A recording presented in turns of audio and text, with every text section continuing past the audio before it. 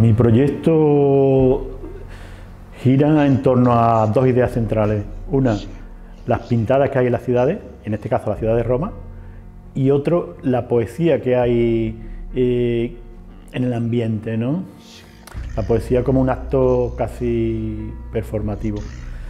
Eh, centrándonos en las pintadas, es como una piel silenciosa, una piel silente de las ciudades, frente a las grandes palabras que hay que tienen que ver con el poder mediático, político y económico, está la gente en la oscuridad que hacen pintadas, no graffiti mm, de colores, sino pintadas donde muestran el malestar, el malestar que todas las ciudades tienen y Roma lógicamente también tiene, esa es la vinculación.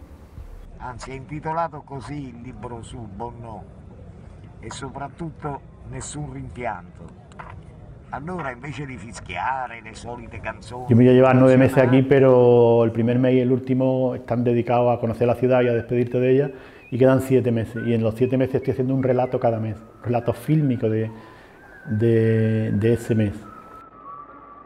Yo lo que hago es filmar todos los días.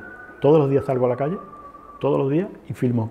Algunas veces filmo 20 segundos y otras veces filmo una hora. al manicomio come in quella canzone di Rudy Assuntino e dunque approfittiamo. Esta ciudad es muy bella, excesivamente bella, ¿no?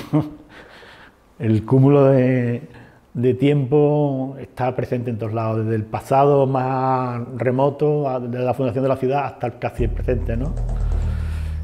Y eso ya es una razón. Y después otra razón es que la academia pues, te permite ver esa belleza de la ciudad con tranquilidad y te facilita eh, unos medios técnicos ¿no? de los nueve meses que, que son bastante buenos.